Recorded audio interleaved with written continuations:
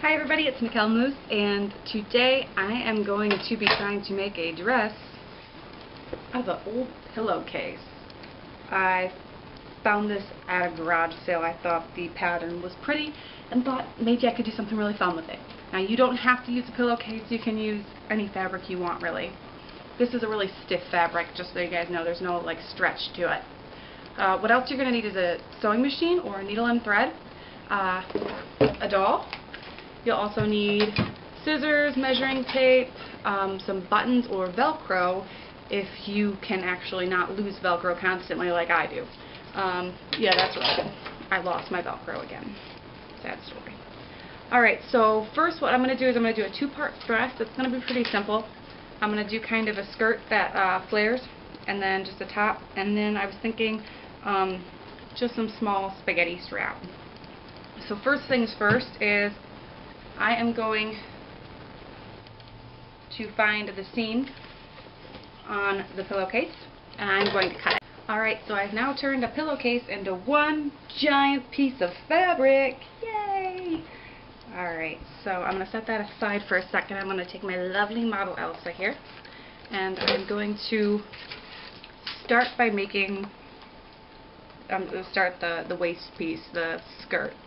And I'm going to take my measuring tape here. And I'm going to wrap it around her waist. And her waist is 11 inches. And because I want the skirt to be really big and flowy I think I'm going to double that up and make it 22 inches of fabric. So the length of 22 inches. So I'm going to make it 22 inches uh, around and then, because I want this to be kind of a spring, summery, kind of fun, flowy dress, I am going to make it go to her knee. So I'm measuring from where I want the waist to be, which is where her waist is.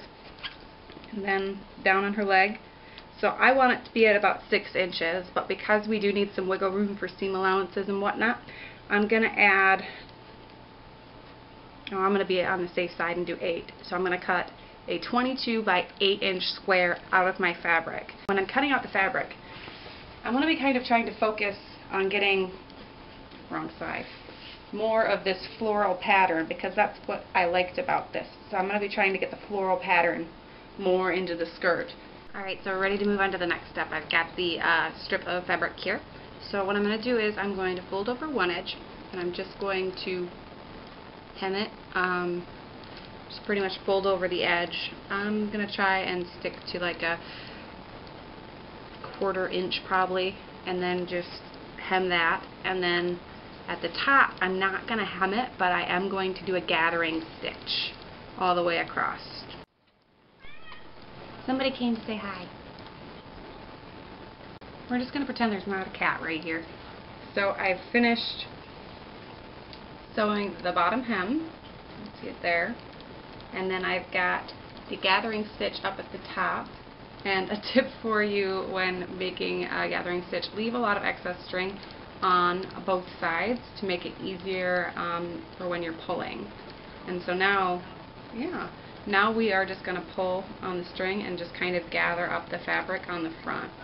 And we're going to try to get it to probably about 12 inches uh, once it's all gathered so I'm going to do that now. Right, so now I've gotten the gathering all down at the top, and it's about 11, 12, in, or 12, 13 inches up at the top here.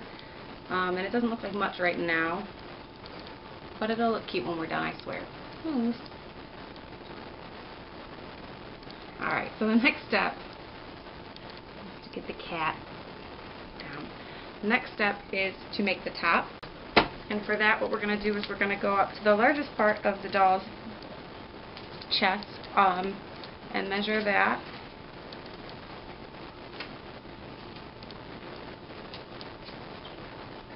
Which actually comes to 11 inches. So we'll cut uh, 12 inches by 12, 12 inches by 5 and you might want to make it a little bit bigger, like maybe 13 by 5. once again, I'm going to pick a spot on the fabric that I think is nice and has a nice pattern. And I'm just going to cut that out. Okay, all over now. Thank you, Moose.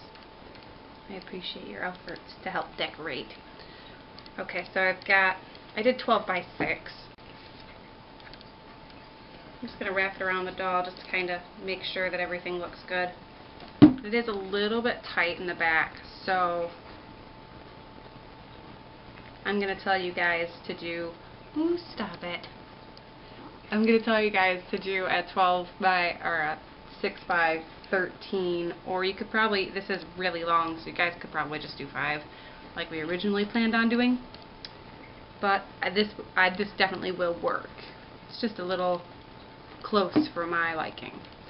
So, what I'm going to do now is figure out what side's the top. I think I like this as the top, so I'm going to fold that over.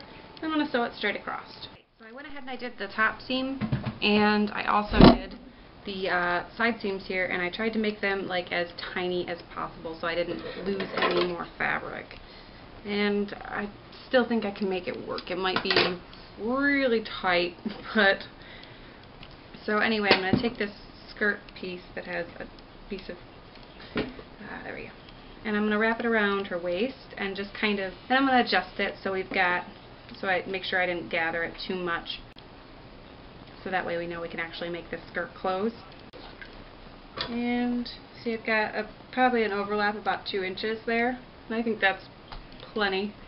Now what we're going to do is take the unsewn edge oh, I was going to put it somewhere else and the sewn edge of this and we're going to go good side to good side so that way when we flip it open, we have a beautiful seam to look at. And I'm going to center this right... Your tail is... She's mad at me. Um, so we're going to center this. And it's... Can you even see what I'm doing? Probably not. So I'm going to line this up on my table so the top is straight. So you're just going to have to kind of tuck in the folds and whatnot so it'll lay there. So the top is straight and then you're going to lay good side to good side. Oh, and I will have some extra fabric hanging over just a tiny bit on the skirt. So but you can kind of see I've got probably about a half an inch on each side of the skirt and that's okay because that's going to be the seam allowance on this or when we sew the skirt together but I'm just going to sew these two pieces together Then I'll set the gathering stitch and also attach the top to it Alright, and so it's sewed together. See, we've got that extra fabric on the side here. And I did kind of try it on my doll, and it is way too tall in the front. When I put it on her, and it falls underneath her arms, it's like a full ball gown. And that's not exactly what I was uh, looking to do. So what I'm going to do is modify it a little bit, um, but we'll get to the modifications in just a moment. What I'm going to do right now is I'm going to fold the dress good side to good side and then I'm just going to sew the skirt portion or the bottom portion together um, and those little pieces that are extra kind of sticking out I'm going to sew those and um, that way when we put the dress on the doll this top portion is all that needs to be closed so so I have sewn that bottom piece on and now I can pull it up over the doll and the bottom's already attached down here and so now we need to get into the modifications to make this dress. Do is I'm going to cut this piece. I'm going to find, make sure it's center in the back.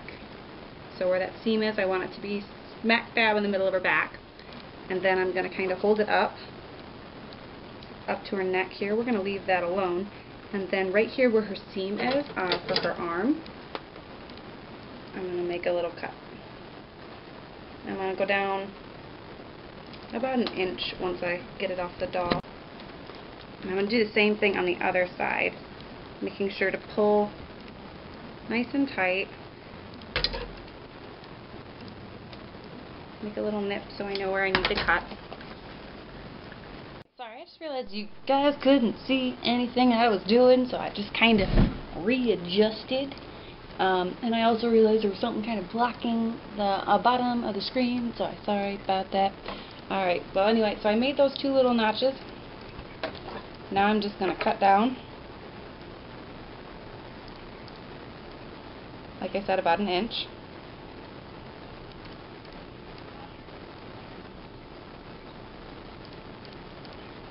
Make sure it's even.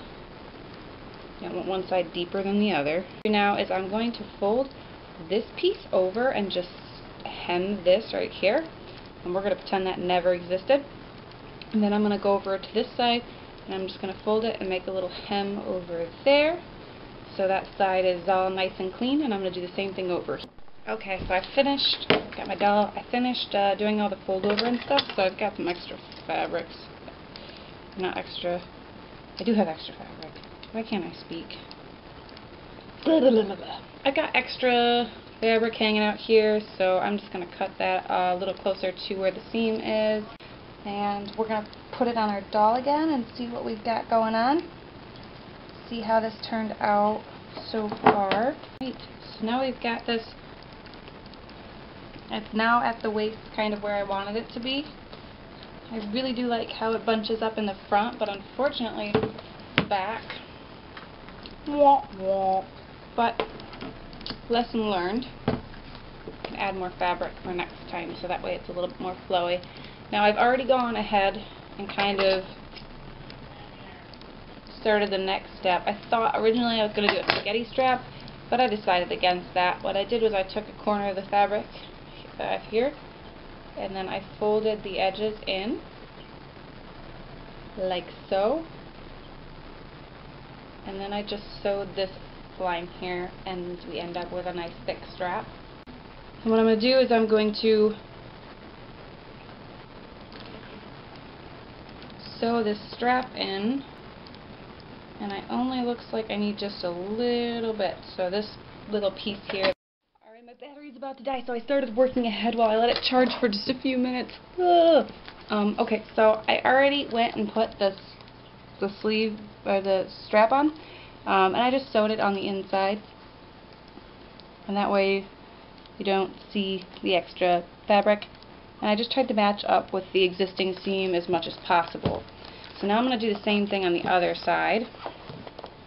And you don't want the strap to be super tight because you do want it to be relatively easy to get the doll's dress on and off.